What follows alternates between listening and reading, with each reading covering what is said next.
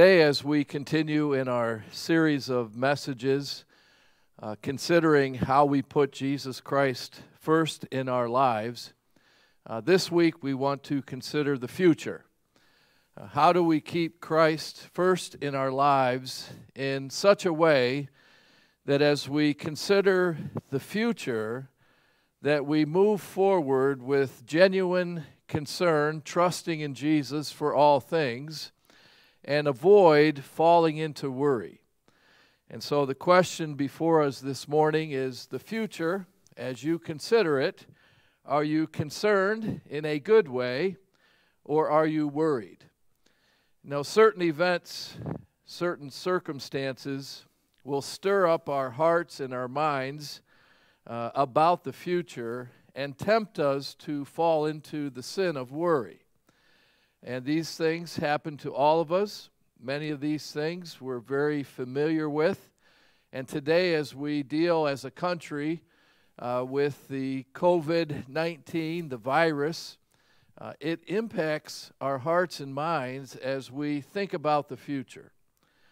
Uh, consider the normal concerns that we have uh, on a regular basis, uh, such as we think about the future normal concerns that we have. We are concerned about family, relationships. Uh, what parent hasn't thought, you know, if I die, if God takes me home, who will take care of my children?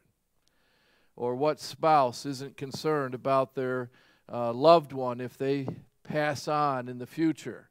Uh, these types of concerns readily come to our minds as we are concerned about family and friends moving into the future. We normally think about money, jobs, and work. Uh, these things we cannot escape in life. We must deal with them. And sometimes, as we look to the future, uh, it can cause us to not only be concerned, but we become worried about them. Politics, government, uh, as you look to the future, uh, certainly, many of us are concerned about what is taking place. And if we're not careful, we can become worried about politics and government uh, as it relates to what's going to happen in the future. Uh, as you look into the future, one's safety, uh, one's well being uh, is certainly often a concern. Or getting old and our health. As we look to the future, uh, we can readily become concerned about our health because of circumstances and events and the event of uh, natural event of getting old or dying and eternity. You know we look to the future. The thought of death can cause us to be concerned. And if we're not careful uh, we can uh, become sinfully worried. And so as you think about the future what should we do as the followers of Christ as it relates to putting Jesus Christ first, being concerned about the future, but not falling into sinful worry?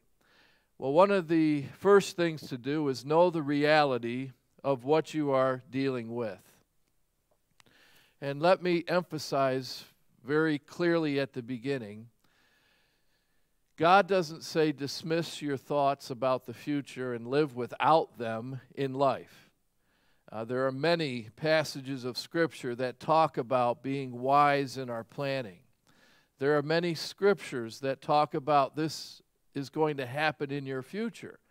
Uh, there is a normal concern for future events and what is going to happen in life that God expects from us.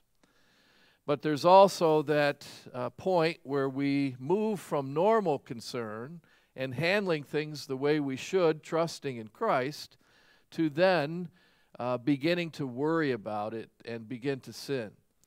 And it's interesting that something like the COVID 19, the virus, the restrictions, uh, stirs up our concern about the future. You think about the normal areas of concern and think about how this virus, the impact of it, the potential of it, uh, stirs up our hearts and minds about the future. More concern about the family and loved ones. more concerned about work and employment and money, more, con- more concerned about the politics of the day in relationship to it and because of it, more concern about our safety as we move into the future, more concern about our health because of what is taking place, more concern about dying and eternity, all because of what's been taking place around us. And so it is normal to have these concerns.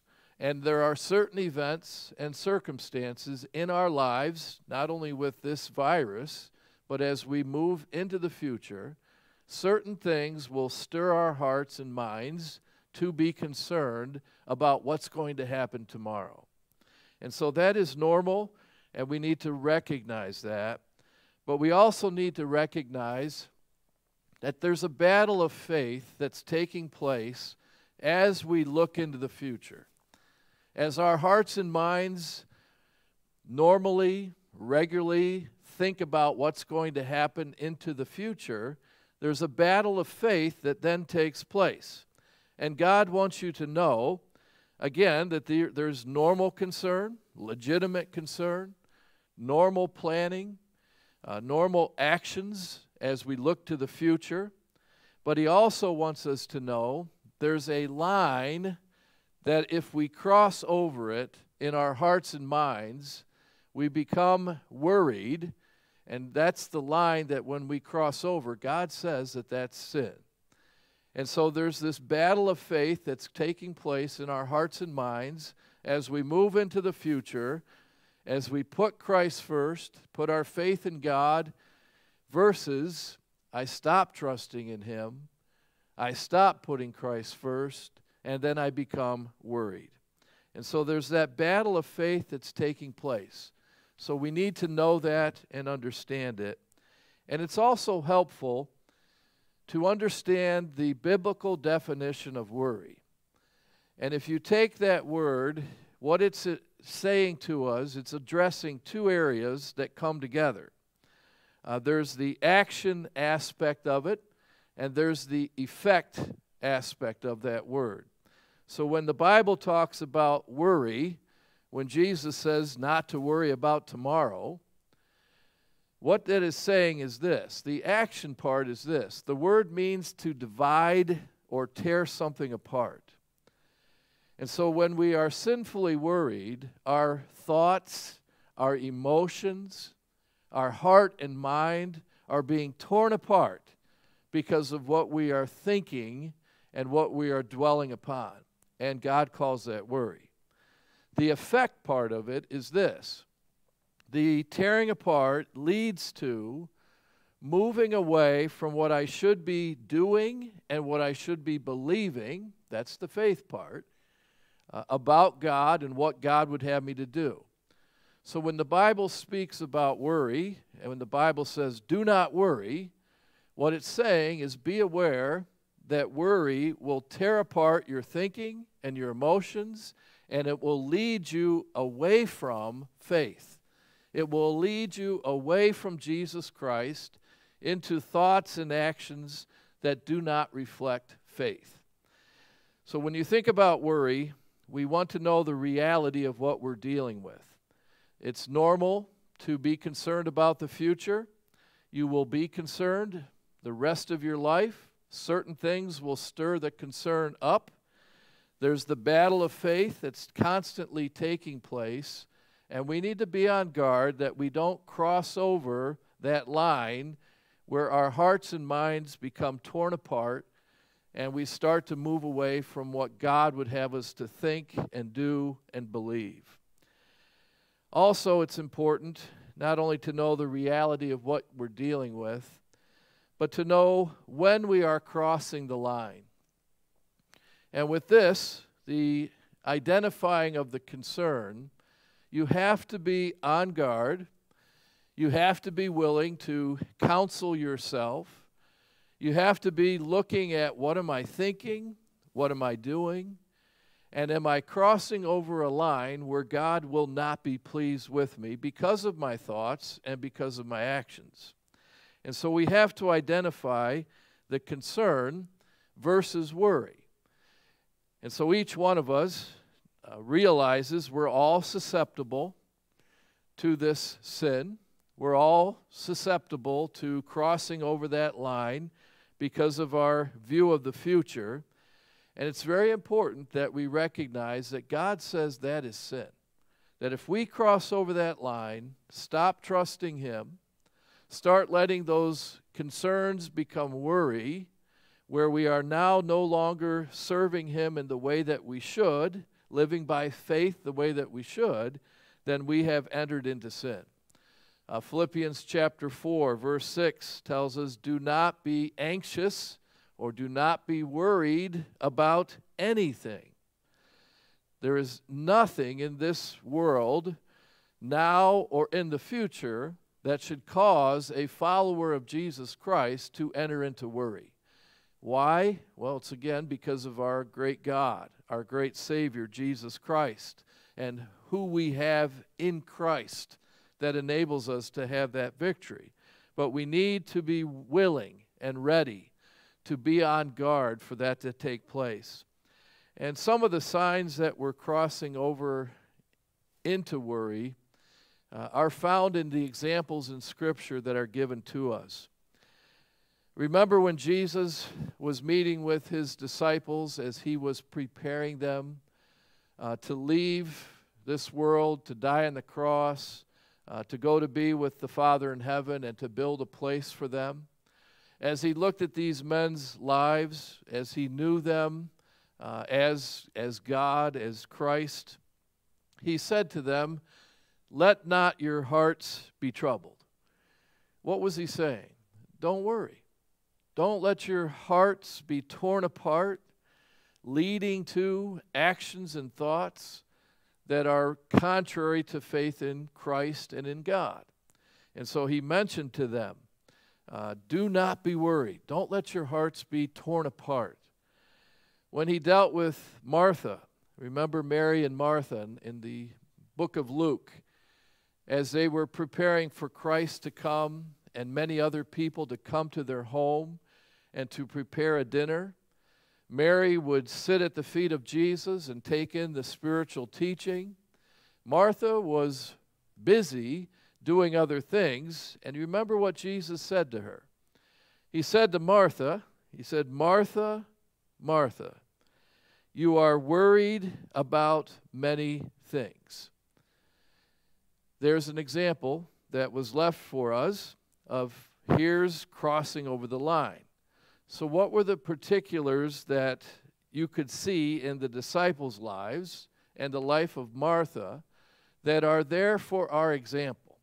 We are to look at these men and see the impact of the concern that was turning into worry. We are to look at Martha's life and recognize they're just like you and I. Uh, we can do the same thing easily. Well, with the men, the disciples, they were losing hope. Uh, they, they thought the world was coming to an end because of the future events that were being spoken of. They were losing hope. They were stopping their actions, the function of their lives were reaching a point where they were not doing what Christ would have them to do because of their worry, their concerns that were troubling their hearts. They were neglecting relationships. As you see the accounts move forward, they separated from Jesus.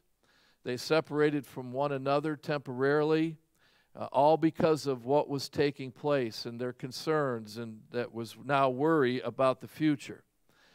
Their thoughts were unproductive. They were not centered around this is what Jesus said, this is what he said we should do. And now they had fallen apart in their, their thinking. Their emotions were out of control. Uh, they were beyond the normal emotions that we have and enjoy. Now they were causing them to be distraught because of their concern that turned to worry about the future. And anytime you find yourself thinking about your circumstances and the future, and you're losing hope, you're stopping what you should be doing that day, if you're neglecting relationships, beginning with Christ, to all those people around you, if your thoughts are unproductive, if you find your emotions are out of control, those are signs, indicators that I'm crossing over from normal concern into the sin of worry. And then you look at the life of Martha. What do we learn from her example? Well, Martha, Jesus said to her, You're worried and you're troubled about many things. And we might look at Martha and say, Well, she was doing a lot that day. She was serving Jesus, she was serving those people in her home. She had a lot on her plate. But Jesus knew that in her heart and in her thinking, she was worried. She was concerned about the future. It might have been the future of that day, but she was concerned to the point where she is called out by Christ for doing something uh, in her heart and mind that needed to change. And what was Martha's issue? Well, the lesson from that is this when the earthly things of this life take precedence over spiritual things in relationship to the future, then we have crossed over that line from concern to worry. And so Martha is running around preparing that uh, dinner, preparing for those guests, and she is now emphasizing the temporal things of life and forgetting those things that are more important the spiritual, the eternal things. And God says to her, Christ says to her, You're worried about many things. So if you find yourself looking to the future, looking to tomorrow, and your concern is so wrapped up in the things of this earth, earthly things, and you're forgetting spiritual things, then your heart is going to be torn apart and your thoughts are going to lead you to worry. So there are signs that we need to be aware of in our lives uh, that indicate to us slow down, be careful. You're about to cross over that line. Normal concern, okay trusting in God, that's where you want to be, but don't cross over that line where God calls it sin. So we need to be on guard for worry. Uh, this is what God tells us to do. Know when we're crossing that line. But like many other things in Christian living, there's not only the aspect, the part where God says, don't do this, you know, stop doing this, or this is a sin, so you do not do this uh, thing in your life. But there's always that part that you do instead. Christian living can be characterized, summarized in the fact that we put off certain things and we, we replace those certain things with what God would have us to do. So when it comes to concern, or when I find myself coming close to that line where I'm about to fall apart and start worrying, when I'm starting to lose the battle of faith, God says, don't go there. But He also says, in its place, this is what you should be doing. This is what you need to be putting on on a regular basis to keep us from sinful worry. So I want to share with you five different truths from the Word of God that He gives to us to keep us from sinful worry. And when you see this package of verses and truth from God, uh, hopefully it will strengthen your faith. It will cause you to look at the future and say, I, I, I trust God, I love God, I know that He's in control, and I have nothing to worry about. I'll take care of my business uh, in the light of who God is, and I'll be concerned, but I'm not going to fall into sinful worry. So, five different things. Uh, number one, as you look to find where your faith is strengthened, faith is strengthened at the throne of grace. Prayer keeps you from worry. The epitome of prayer, the purpose of prayer, is to align our heart with God's will. So when I am coming to God in prayer, I am not coming to Him to say, This is what I want in life. Here's how I've planned it out. This is what I'm demanding from you. Instead, when we look at prayer, we are coming to God in faith and we are saying, I am needy. and you are the answer to all of my needs, and I want my will to align with your will. And so when you look at the throne of grace and prayer, we are told in Hebrews chapter 4 and verse 16, let us therefore come boldly to the throne of grace. You know, what's, what is God's word saying? You come to, to God through Christ. You come to the throne of grace. Grace is what we need for what? All things, including facing the future. God, give me your grace for tomorrow. God, give me your grace for my thoughts and concerns about my future. And he says that we may obtain mercy and find grace to help in the time of need. You know, we look to the future and we see our needs and concerns that are normal, but we should be praying about them every single day. Lord, I'm giving my concerns to you. Lord, I don't know where tomorrow is leading me. These are the things that are in my heart, on my mind, but I'm giving them to you. I'm coming to that throne of grace because I need your mercy. I need your power to be at work in this area of my life. Philippians chapter 4, verses 6 and 7. It says, Be anxious for nothing, but in everything, by prayer and supplication with thanksgiving, let your requests be made known to God, and the peace of God, which surpasses all understanding, will guard your hearts and minds through Christ Jesus. Uh, look what that is telling us. God is saying that as you deal with life, as you have the normal concerns about the future, do not be anxious, don't worry, but instead, you come and you give me your cares and your concerns. You pray, you, you submit them to God, and what does He say He will do? It's a spiritual work of God within our hearts, within our minds, to give us peace peace that passes all understanding, and it will guard your heart and mind through Christ Jesus. Now, the guarding aspect is it's keeping us from sin, it's keeping us from worry, it's keeping us from crossing over that line when we pray and present, Here are my concerns about the future. God, I'm giving them to you because I know that you're in control. Now, as you think about facing the future, as you think about the normal concerns that we all have, that these are the things that should draw us to the throne of grace every single day, every single moment in our hearts when we find that the concerns are taking us close to that line, that's the time to pray. And what a wonderful gift we have uh, through Christ and in Christ of this gift of pray. So you want to pray and pray some more because that's where your strength uh, is, your faith is strengthened. Number two, the nature of God strengthens our faith as well.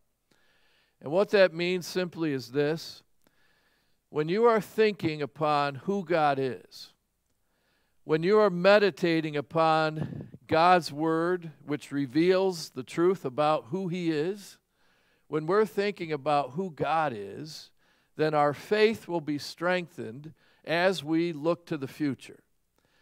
There are so many verses that we could read and use, probably the, the Bible as a whole, to say, here's who your God is. Why are we concerned to the point of worry when we look at the future? But I want to share with you just a, a one passage in Isaiah chapter 40, verses 28 through 31 and think about what this one small part of the Bible is saying to you about who your God is.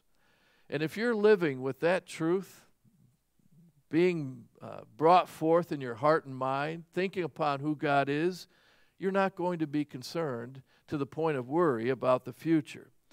Uh, listen to Isaiah. He says, Have you not known? He raises that question. In other words, you know these things have you not known? Have you not heard? You've heard these things before about God. And isn't it interesting that we might know all the truth about who God is, and yet we still get to these points in life where we move away from those thoughts about God that open the door to worry? He says, Have you not known? Have you not heard? The everlasting God, the Lord, the creator of the ends of the earth, neither faints nor is weary. His understanding is unsearchable. He gives power to the weak, and to those who have no might, he increases strength.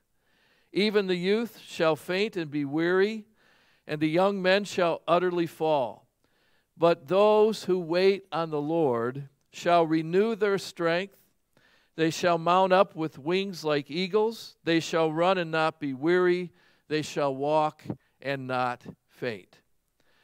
Now, if you think about looking into the future, and if you ever look into the future or even tomorrow causes you to feel helpless, I don't know what's going to happen. I'm very concerned about these different areas in, in life.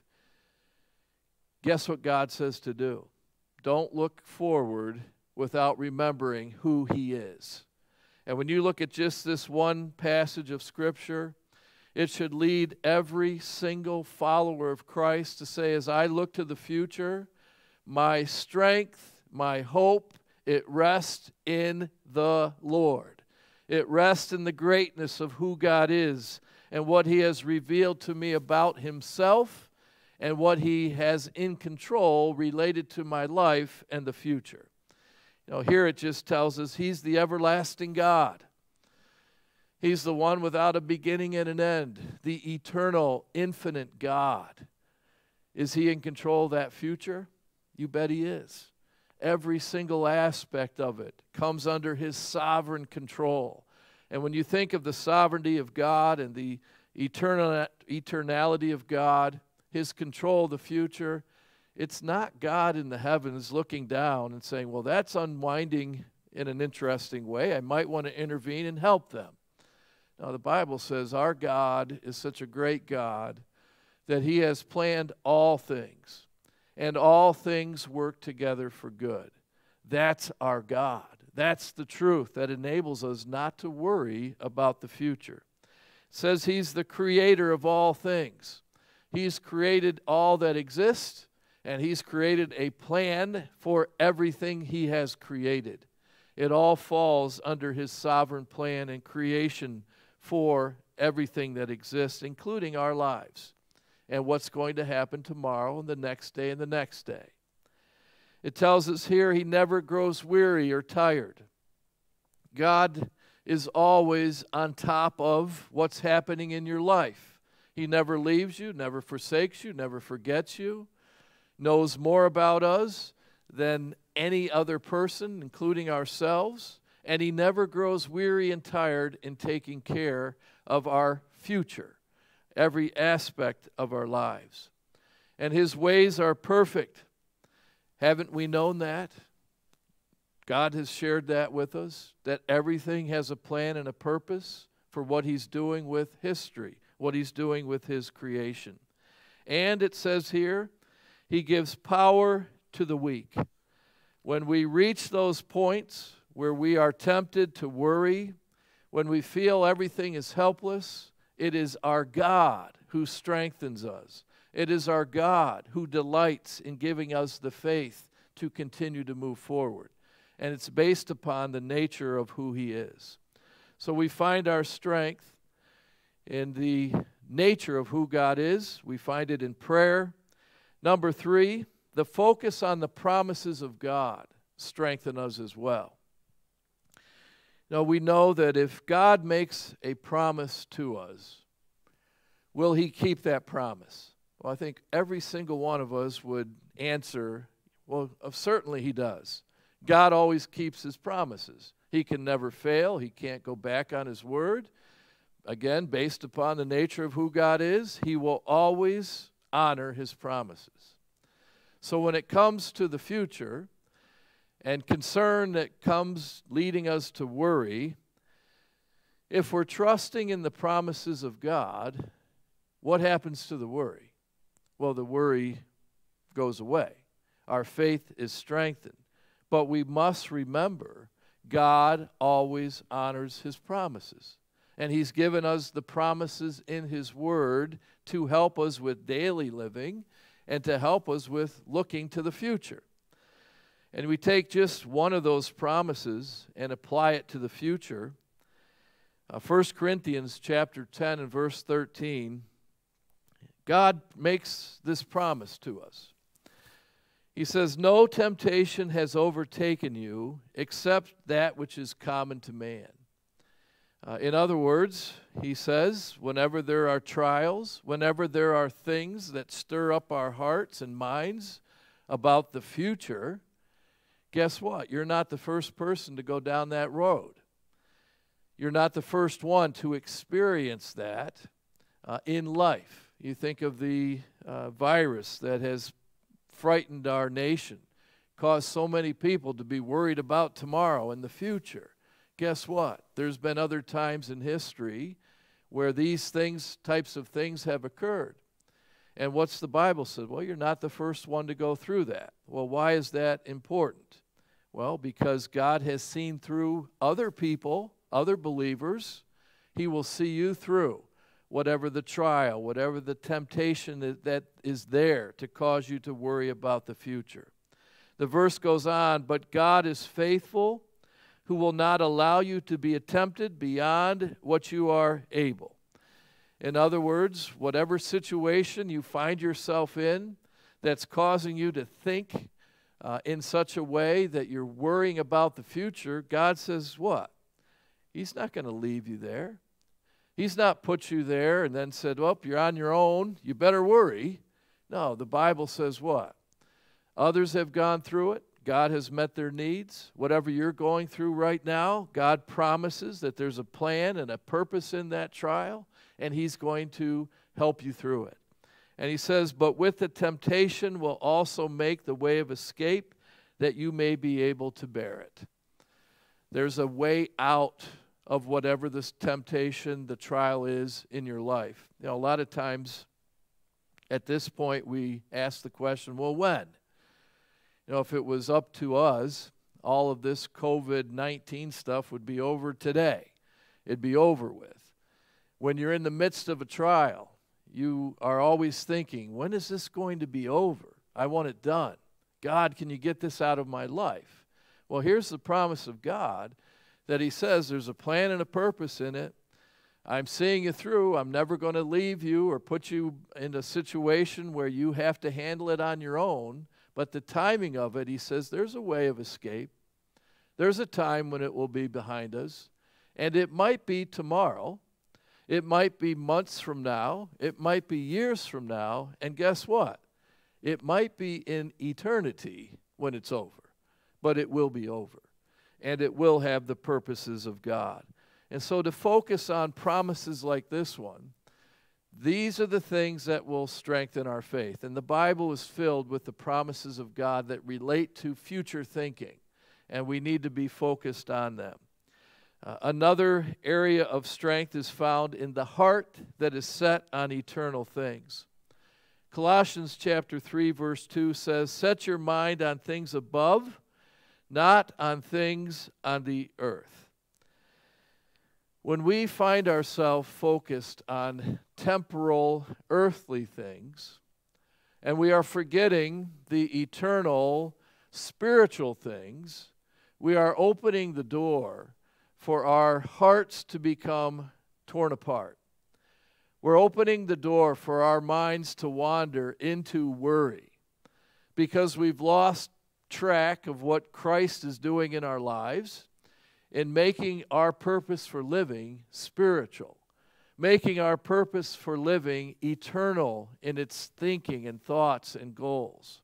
So, yes, once again, concern for the future that's legitimate, dealing with earthly things, we must do that, and there's a way to do it that honors God.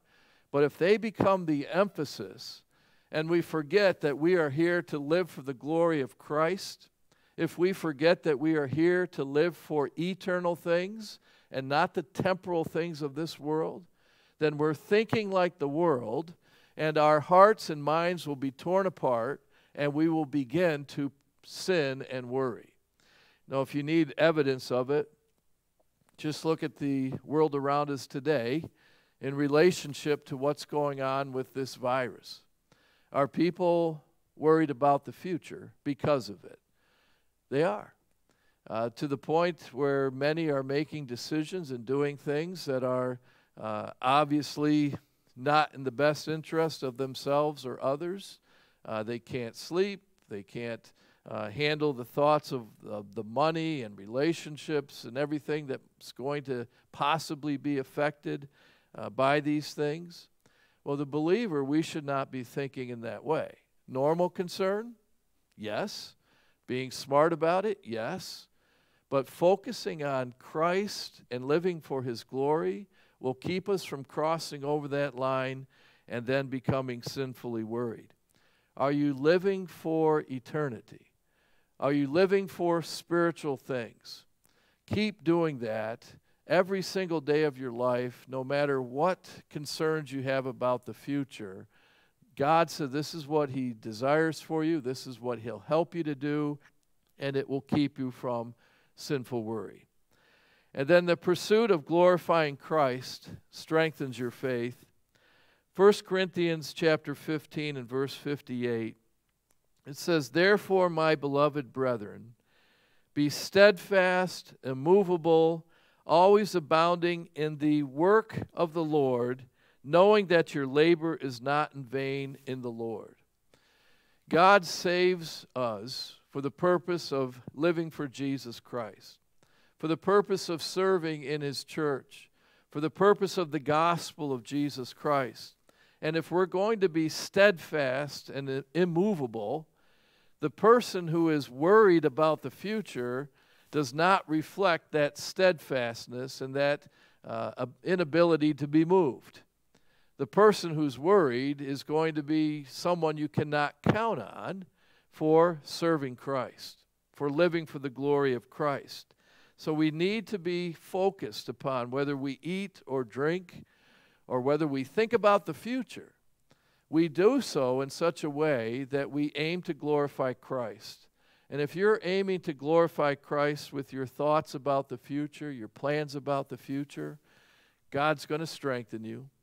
God's going to give you the victory that in that battle of faith and you will not find yourself worried.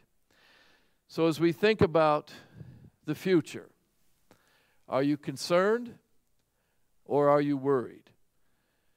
Putting Christ first, we should have concern about the future, but we shouldn't be worried. And as you think about these thoughts today, I trust for the followers of Christ that you know the reality of what you're dealing with. We're all tempted to worry. We all need to be on guard about crossing that line. And we need to know when we are crossing that line. Be honest with yourself. Uh, look at the example of the disciples and Martha and how Christ gave them the victory in those areas. But be aware, these are the things that for me cause my heart and mind to, to worry. Lord, when I'm coming to that point, help me to immediately go to those points of being strengthened and to know those. You know, number one, pray. Go to the throne of grace. Number two, remember who your God is, the greatness of God uh, will help you to be strengthened for the future. Trust in the promises of God concerning the future. Again, that's where your strength will be uh, found. The faith will be found to have the victory. Keep your heart set on eternal things. Lord, help me to set my affection, my thoughts, my goals upon those things that matter for eternity, and then take every day to live for the glory of Christ and when you are doing those things, you're going to find your heart will not be torn apart, your emotions will be functioning well and in a good way. Your thoughts will not lead you into sinful worry, but they'll be focused upon God and the things of God. This is what God tells us He will do. And so, as we put Christ first, I trust that as you think about the future, you're not worried concerned, dealing with it, but you're showing forth Jesus Christ and the difference that he makes in our lives to those who are without Christ. Those without Christ, as they deal with the issues of the day, uh, they're in a panic. They don't have that peace that passes all understanding about tomorrow, about the future, not even for today. We have that with Jesus Christ, and we praise God for it. And would also say if that if you have never received Christ as your Savior, then it is impossible for you to not be worried about the future. Not only the future of this world, but the future of eternity. And our heart's desire for, for you would be that you would see Jesus Christ as your Lord and Savior, the answer to your sin, and also the answer to your worry, that sin of worry. Because to put your faith and trust in Jesus Christ, to receive Him as your Savior from your sin, the Lord of your life, to have that hope of eternity and the promises of God for tomorrow, uh, there's no value that can be put on it. It is a wonderful gift from God, and it can be yours if you will hear the gospel message and receive Jesus Christ as your Lord and Savior. Father in heaven, we thank you and praise you for the peace that passes all understanding that is found in Christ Jesus. And Lord, I pray for every follower of Christ uh, that you would cause our hearts uh, not to be troubled, that you would look into our hearts and minds and you would see that we are not worried about the things of this earth, but that we are coming to you, casting all our cares upon you that we are trusting in who you are. We are trusting in the promises of God that you have given to us. And we are looking to serve you, to live for eternal things, and glorify our Lord and Savior Jesus Christ in all that we say and do. Lord, we pray for the strength, for the faith to move forward no matter what you have planned for us in the future. And Lord, may it speak about Jesus Christ to those who are without. And Lord, we would also pray that for anyone without Christ as their Savior, as they deal with worry in their life, may they see it for what it is. You know, God calls it sin, but may they see that the answer to it is found in the cross, it's found in Jesus Christ. And we ask this in His name. Amen.